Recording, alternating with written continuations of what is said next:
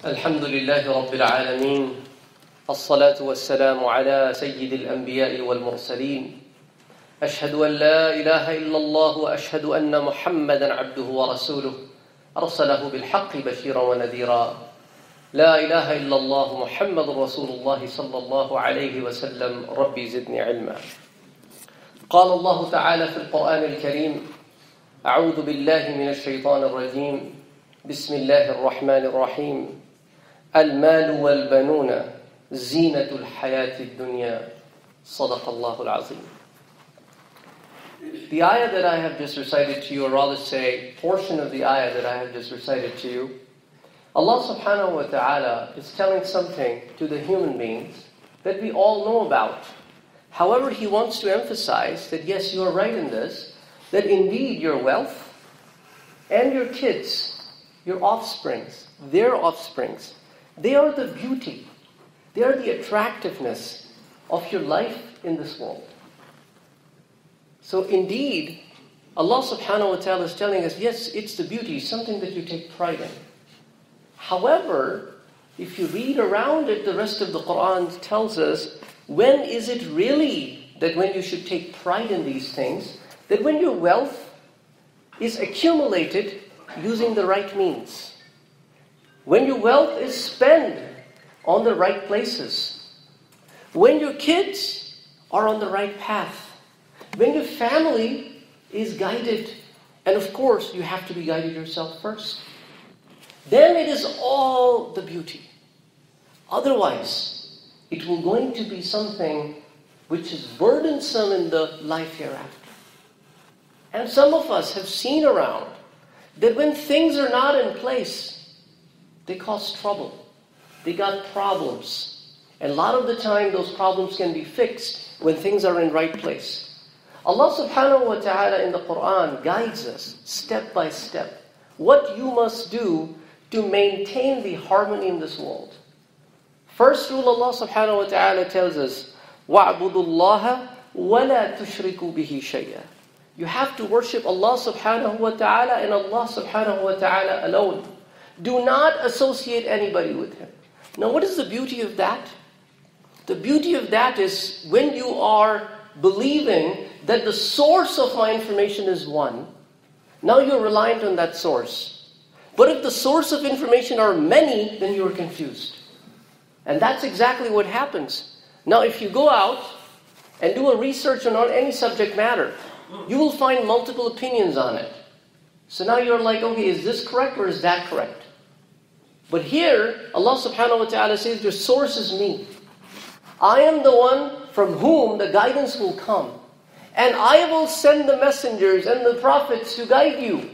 And I will send the books to guide you. Once you take that guidance, then you will be fixed.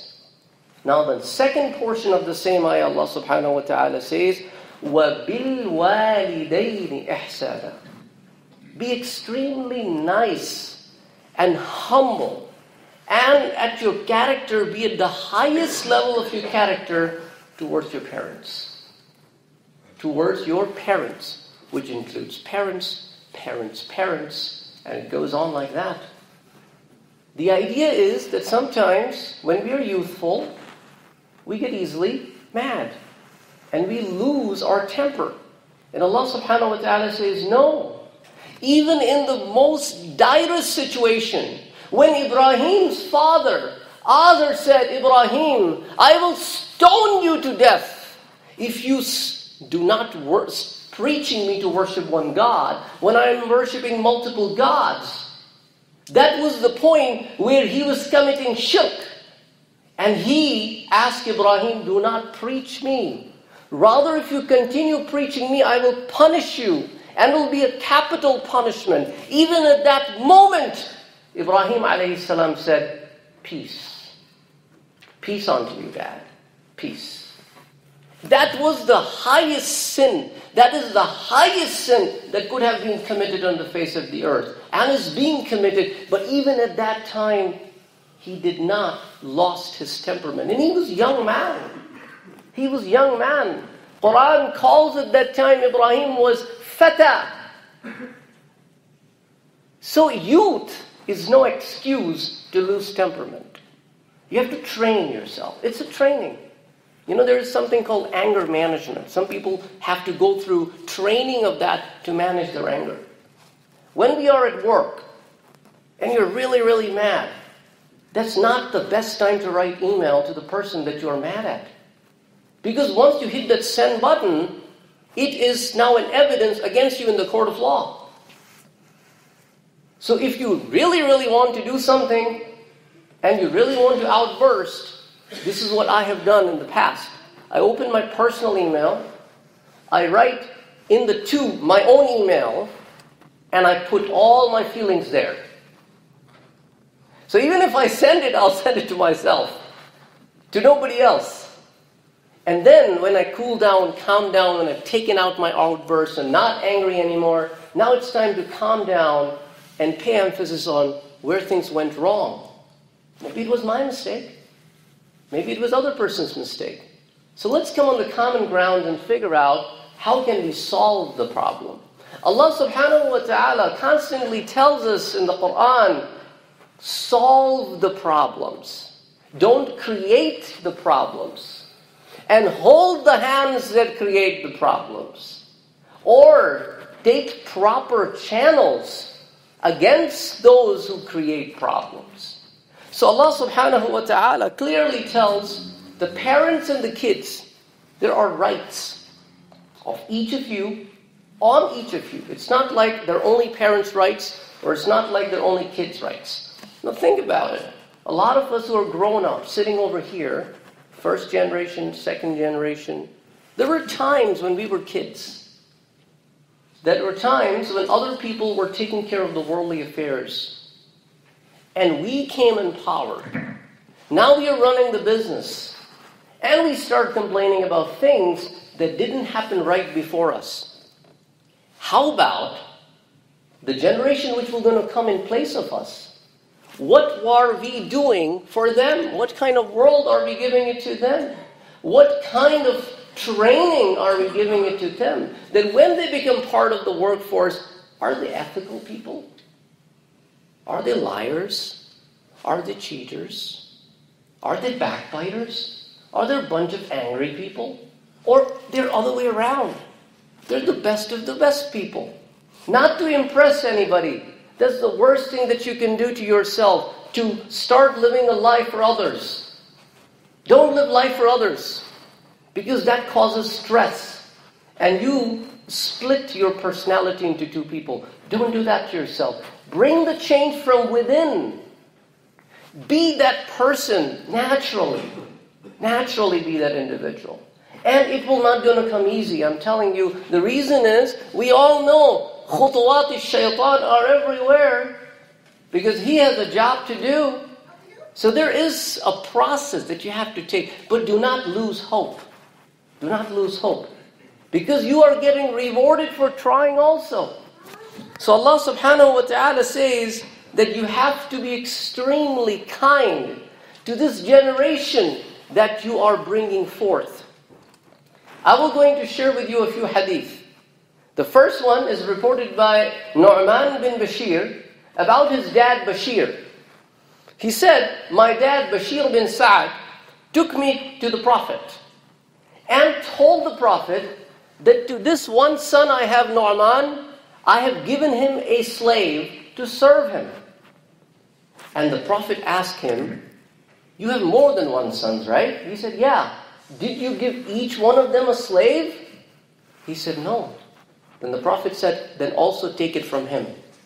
Because that's injustice. This is reported by Imam Bukhari and Imam Muslim, muttafaqun alayh.